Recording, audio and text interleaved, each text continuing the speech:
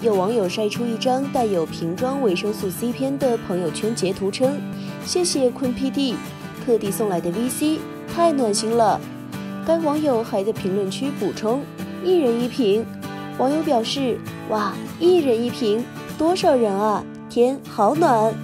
今天的 VC 我也补充好了，虽然不是蔡徐坤送的，但挺酸的。坤坤也要保护好自己。非凡娱乐实时报道。